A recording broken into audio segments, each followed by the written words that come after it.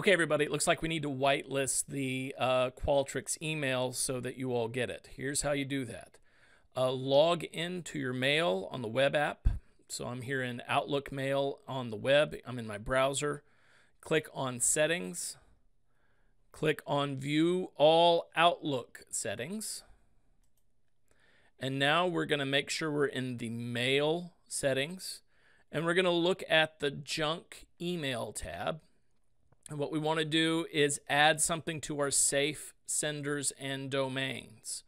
So from here, I'm going to add this email address, which is the Qualtrics email address.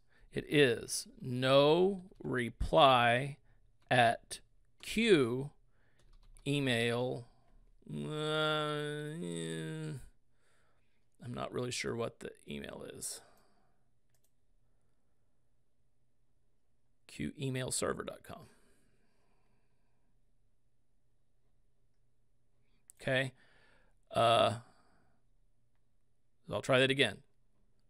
Mail, junk email, safe senders and domain will add no reply at q emailserver.com and hit enter.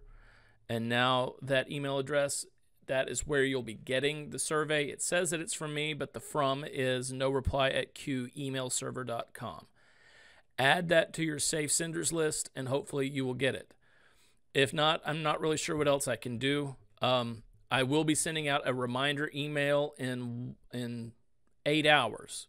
So do this right now, and then in eight hours you should be able to get that email. We've had about 30 responses, so um, it is getting through. It's just some of you, uh, it's either going to junk or to spam or to clutter, and we need to make sure that it does not do that. So this is how you do that. Quick reminder again. Save.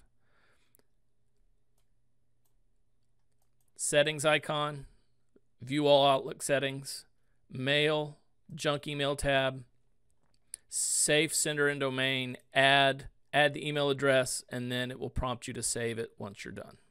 Okay, hope that helps.